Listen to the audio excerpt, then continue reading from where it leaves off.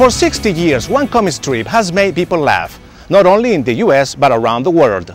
Graham Bainford has a story of how a local man has kept one little boy's adventures alive.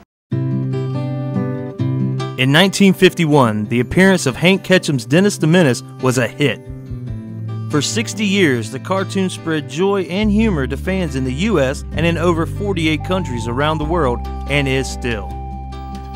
When Hank Ketcham decided to retire in 1994, Marcus Hamilton continued his work as illustrator of Dennis the Menace for the Daily Panel.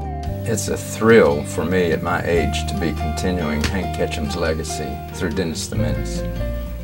Marcus always knew he wanted to be an artist and started at the age of five. He grew up reading Dennis the Menace, and when Hank Ketcham decided to retire, Marcus saw an opportunity of a lifetime. I was in awe. Uh, he was such a well respected cartoonist in the business. I couldn't believe he was willing to, to take a chance on me just because I called him one day and asked if I could draw Dennis. Dennis the Menace has made a huge impact on the world. There are so many characters everyone can relate to. The favorite character in Dennis for me would be Mr. Wilson because I'm turning into him. But when I was earlier, in earlier years, I thought Joey was more like me. I was not a Dennis character. I was more a very obedient little boy like Joey. All around us, we find things that inspire us. That is how Marcus finds his as well. To do the drawings for Dennis, uh, since you have to do it every day and come up with a different situation, I depend on my own life, especially my family, my four and a half year old grandson, who is a big inspiration because of he is so energetic and animated.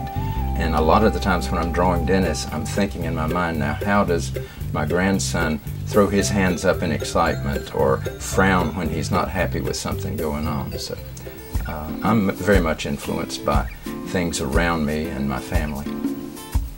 Inspiration and passion has kept Dennis the Menace alive.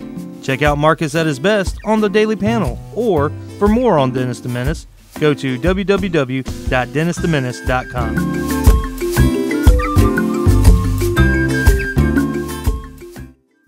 To follow the Carolina School of Broadcasting, check out our website at csbradiotv.edu or on Facebook by searching Carolina School of Broadcasting.